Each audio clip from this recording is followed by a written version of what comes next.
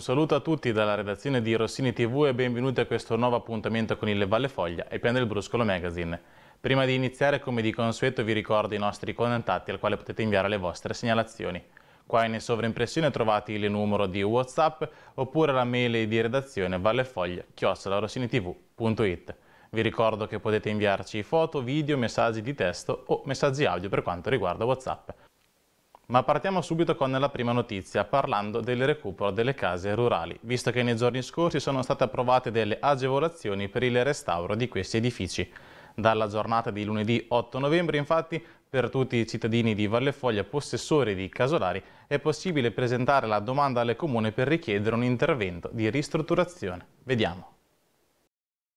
La normativa è approvata, è immediatamente eseguibile, quindi tutti coloro che vogliono recuperare vecchi fabbricati agricoli possono presentare la concessione edilizia agli uffici tecnici del comune, l'ufficio urbanistica Sant'Angelo dell'Isola e eh, diciamo una quarantina di fabbricati, quelli di maggior valore sono conservativo totale, così come più o meno erano già, senza eh, modifiche, Tutte le altre possono avere dei miglioramenti e quindi recuperare 150 abitazioni considerando che ci sono delle agevolazioni dello Stato per noi ci sembra abbastanza importante. Le agevolazioni sono per il contenimento energetico, per eh, diciamo, la normativa sismica, per renderle eh, diciamo, con l'aria che tira con i terremoti eh, diciamo, più robuste dal punto di vista sismico e quindi abbiamo buone ragioni per pensare che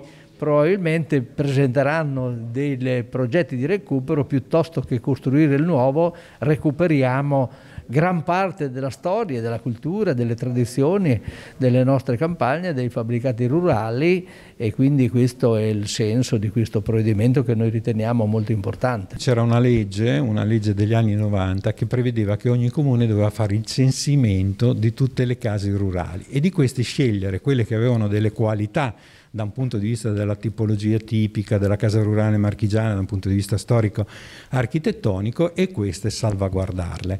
Noi avevamo un elenco molto numeroso no? che prevedeva anche tutta una serie di edifici che forse questi grandissimi valori da un punto di vista tipologico e architettonico eh, non avevano e nel tempo una parte di questo patrimonio non recuperato anche per le difficoltà operative e tecniche che c'erano magari per fare il restauro conservativo sono eh, uh, sono diventati dei ruderi o sono state abbandonate. Questa normativa cerca di intervenire con eh, la ristrutturazione, anche se non è previsto lo spostamento, lo scivolamento della casa e la sua eh, demolizione, cercano in questo modo di agevolare l'intervento che il privato potrebbe fare. Se questo si unisce che forse eh, l'edificio potrebbe fruire anche di finanziamenti di carattere nazionale dovuti agli incentivi come politica, noi pensiamo pensiamo e speriamo che questo contribuisca a recuperare queste importanti parti del nostro territorio che costituiscono sì un valore economico ma costituiscono anche dei riferimenti ambientali importanti perché poi sono la storia del nostro territorio. Da quando è possibile fare questa richiesta? Ma noi abbiamo approvato una norma che è immediatamente eseguibile per cui da oggi voglio dire possono essere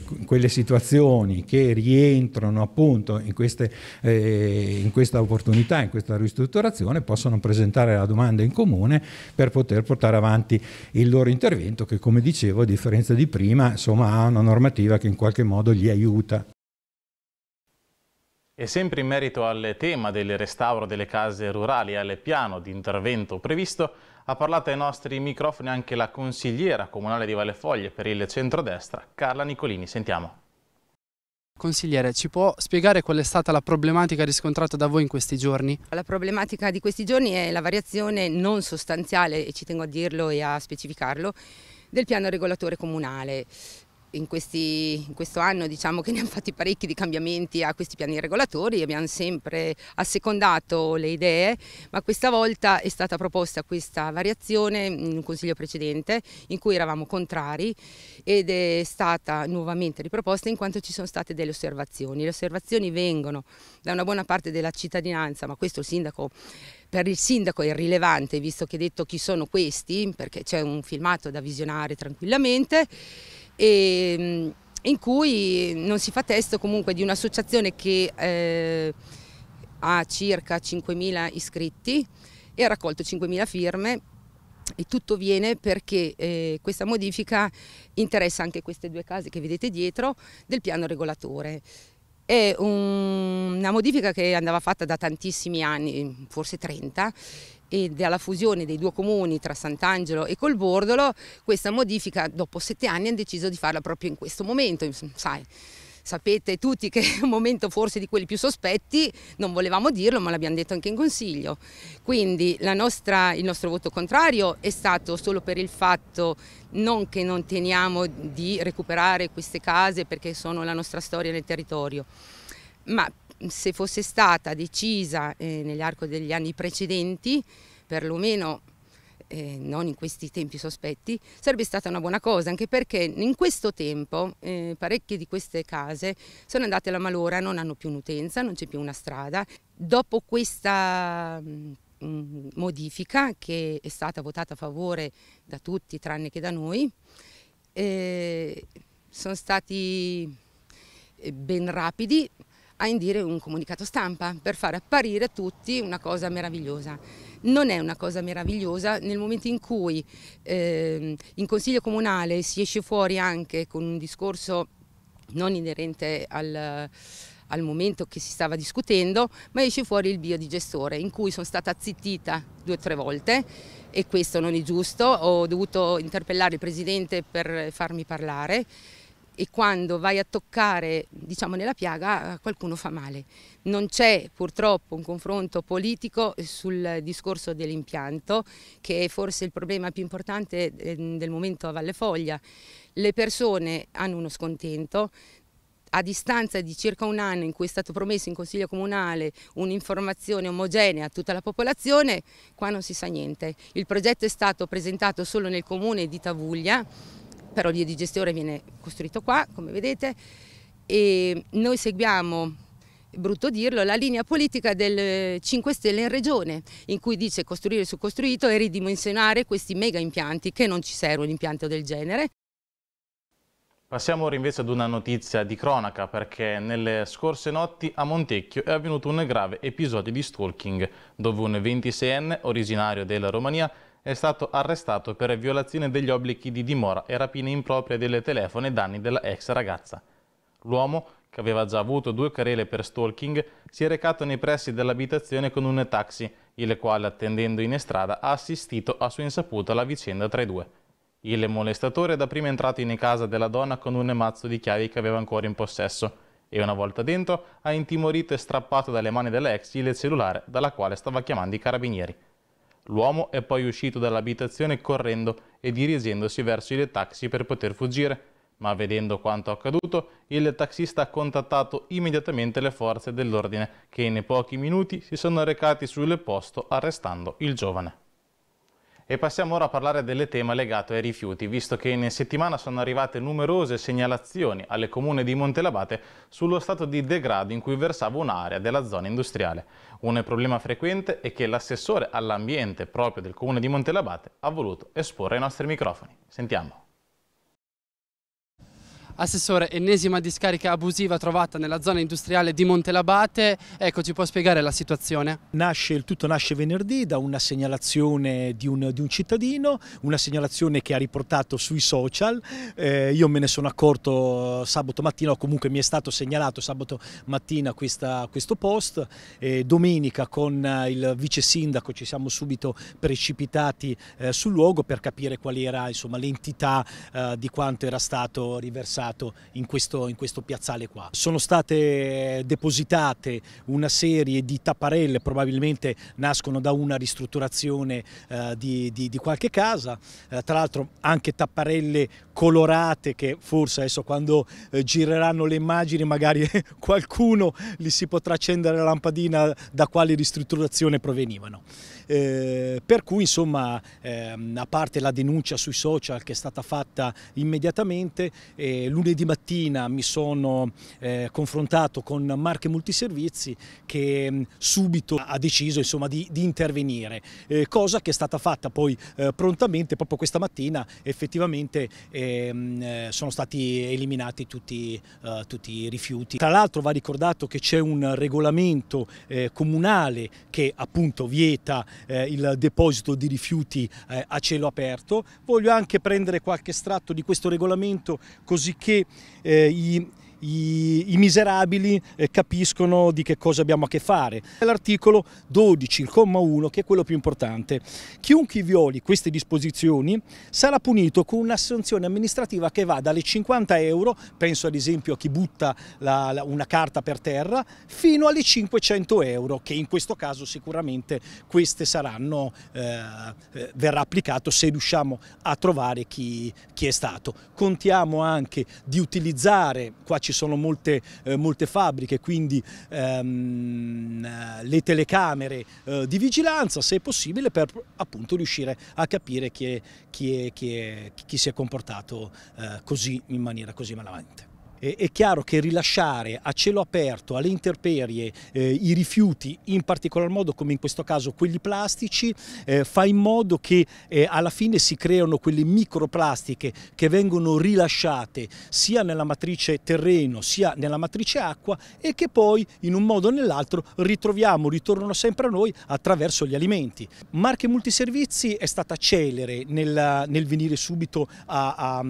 a ritirare questi rifiuti e che ringrazio spazio, ma è un'azienda, non fa nulla per nulla questo qua sarà un costo, un costo che ehm, spetterà a tutta la collettività purtroppo, quindi lo ritroveremo tutti noi bolle, nella bolletta taria che andiamo a pagare eh, ogni anno. Ecco, ecco perché l'hanno fatto questi cittadini, perché? Per non accollarsi direttamente. Questo costo che sarebbe stato io penso non più di 100 euro probabilmente se lo davano a portare in, in discarica. E invece questa cifra che sarà molto maggiore il fatto che, che sono, è, è dovuta intervenire l'azienda con con un mezzo apposta per riuscire a ritirarli, eh, un costo che sarà sicuramente maggiore e che verrà ripartito appunto tutta la collettività. Quindi, signori miei, per l'atteggiamento di questi qua, di questi, di, di questi personaggi, pagheremo, pagheremo noi tutti i cittadini di Montelabate. E da Montelabate ci spostiamo a Gradara, visto che in questi giorni sono state ultimate le nuove pensiline per le fermate degli autobus grazie all'intercettazione dell'amministrazione di un ebando regionale di 58.000 euro. Il Comune ha scelto una linea moderna ed accattivante, rifacendo i basamenti e sostituendo le 10 pensiline sulla strada provinciale. Il progetto proseguirà poi con ulteriori finanziamenti dal bilancio comunale per la realizzazione e sostituzione anche di quelle all'interno delle frazioni. E sempre in settimana, questa volta però ad Osteria Nuova, c'è stato il sopralluogo alle Parco Falcone Borsellino da parte dell'assessore ai lavori pubblici Luca Faroni e dell'assessore all'ambiente Pierluigi Ferraro. Da quanto emerso, i lavori stanno procedendo speditamente e dopo l'installazione dei giochi di qualche mese fa si è passati alla piantumazione di varie specie di piante. Il parco è temporaneamente chiuso per i lavori delle case e sarà a breve fruibile per tutti i cittadini ed in particolar modo per i più piccoli. E ora invece parliamo di un argomento abbastanza insolito, ovvero quello della mancanza di personale. Questo è il caso della nuova sartoria di Montecchio, che pur avendo tanto lavoro e richiesta, fatica a trovare nuovi dipendenti. Vediamo il servizio. La nostra problematica innanzitutto è formare i giovani, perché molti giovani non sono propensi ed inclini a fare questo tipo di lavoro. Questo è un tipo di lavoro che richiede molta manualità, le macchine come vedi ci sono, ma le macchine vanno avanti con l'operatrice. L'operatrice se non è più che addestrata e formata, professionalmente parlando, rimane un po' difficile, però noi siamo sempre propensi ed inclini a eh, aiutare e a formare queste persone, anche assorbendoci dei costi, diciamo, oneri a carico nostro, formando e praticamente pagando il dipendente, come giusto che sia. Questi sono gli ultimi mestieri che praticamente richiedono una certa manualità, ma eh, non sono aiutati da nessuna parte, benché ricercati perché Fendi, noi stiamo lavorando adesso per Dolce Gabbana, abbiamo lavorato per Prado, io ho lavorato per Giorgio Armani, ho lavorato tanti anni fa per il gruppo finanziario tessile e praticamente queste, ehm, queste aziende sono ricercatissime in questo ambito perché noi siamo un po' la punta dell'iceberg. Il tessile è facile dire tessile, io però non posso essere qui parlato che faccio gli abiti da sera e se lei vede alle mie spalle abbiamo eh, delle operatrici che lavorano ago e filo come le sartine di una volta siamo ricercati da queste aziende, diciamo, eh, queste aziende manifatturiere blasonate della moda italiana e però siamo in carenza di manodopera, questo se non riusciamo e se non siamo aiutati da qualche parte, io anche le istituzioni, perché le istituzioni francamente le vedo un po' latitanti. Ecco, è una carenza di personale, come dice lei, qual è il suo invito a chi è magari appassionato di questo mestiere di presentarsi qui da lei? Certamente, io sto, guarda, io ho mm, una serie di curriculum che praticamente sto selezionando, sto visionando, il 99,9% non hanno esperienza, però eh, diciamo, ecco, ultimamente io ho assunto tre persone che non avevano esperienza ma avevano una piccola infarinatura col nostro settore, mm, li ho fatti partire proprio, ovviamente siamo partiti come apprendistato perché sono giovani, però su 20 ne sono rimaste due. Lo stipendio si aggira, si parte da 900 euro come apprendista, 1000, 1100, 1200. Ovviamente più cresci di livello e poi vediamo perché eh, saremmo eh, dei sciocchi farci scappare delle risorse umane che non si trovano. Spostiamoci ora invece a Monbarozzo, visto che nella mattinata di giovedì 11 novembre il camper vaccinale è tornato all'ingresso del centro storico. Dalle ore 9 alle 13, infatti, per tutti i cittadini con età maggiore o uguale ai 12 anni è stato possibile vaccinarsi in sicurezza e senza prenotazione. Alle camper vaccinale, organizzato dall'Asur Marche, è stato possibile ricevere la prima dose di vaccino, il richiamo della seconda oppure della terza. Il tour proseguirà nei prossimi giorni anche in altre zone della provincia, per permettere a tutti, qualora fossero intenzionati, di vaccinarsi senza prenotazione e in totale sicurezza. E ora cambiamo invece pagina e ci focalizziamo sulla storia di Yvonne Pagliari una donna residente a Valle Foglia e che ha portato la sua battaglia contro il cancro al seno in televisione. Lo scorso 31 ottobre infatti Yvonne ha partecipato ad una puntata speciale del famosissimo programma L'eredità, una puntata dedicata alla ricerca e lei ai nostri microfoni ha voluto nuovamente parlare di questo tema dopo anche la scrittura del suo libro. Yvonne Pagliari, eh, hai portato la tua storia all'eredità il 31 di ottobre in una puntata speciale dedicata comunque alla sensibilizzazione e alla ricerca. Ecco, ci può spiegare com'è andata?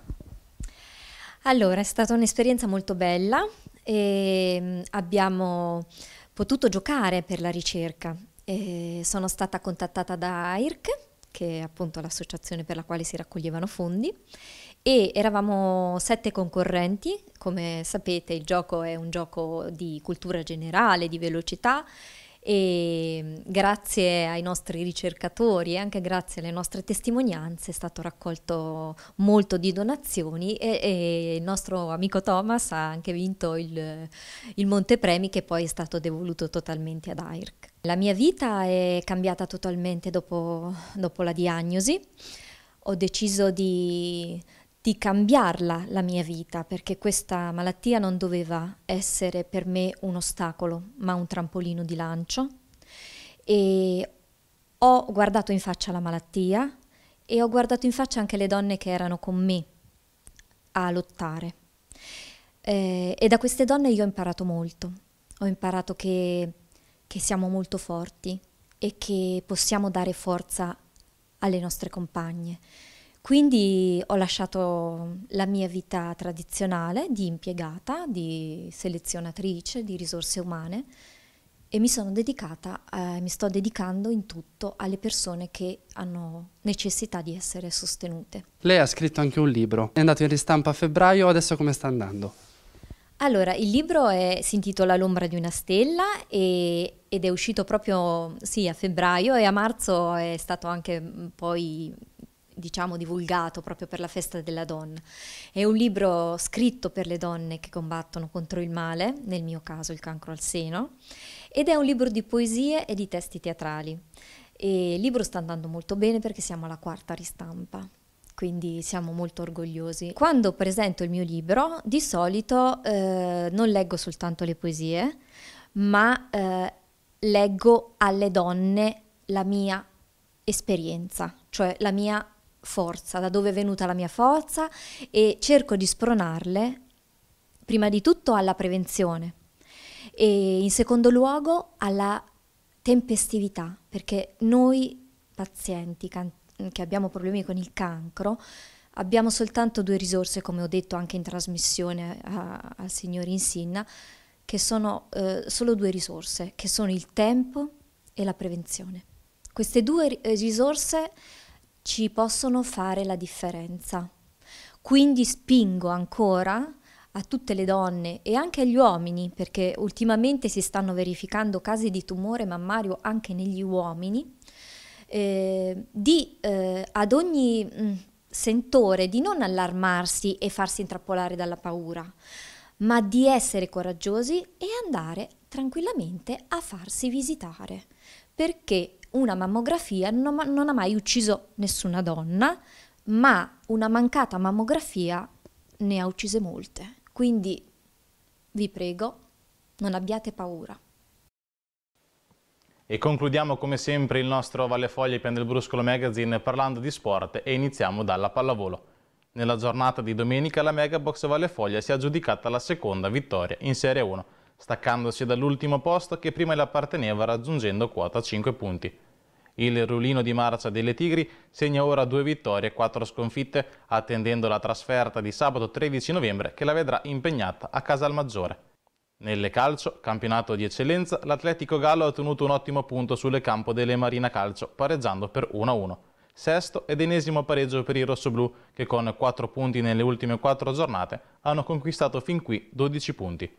Nelle campionato di promozione invece continua la risalita in classifica del K-Sport Montecchio, che nelle match casalingo contro il Cantiano ha trionfato per 2-0. Sconfitta interna invece per il Valfoglia, che nelle pomeriggio domenicale è stato battuto dalle Portuali Calcio Ancona per 2-3. In prima categoria invece l'Atletico Tavuglia viene fermato in casa per 1-1 dal Vismara, ottenendo così il quarto pareggio su sette gare. Seconda sconfitta nei campionati invece per l'Osteria Nuova che dalle campo delle Muraglia esce sconfitta per 2 a 1. E con lo sport si conclude questa nostra nuova edizione delle Valle Foglie Pen del Bruscolo Magazine. Io come sempre vi ringrazio per essere stati con noi qua su Rossini TV. Vi rinnovo l'appuntamento venerdì prossimo, il 19 di novembre, e vi auguro un buon proseguimento di serata.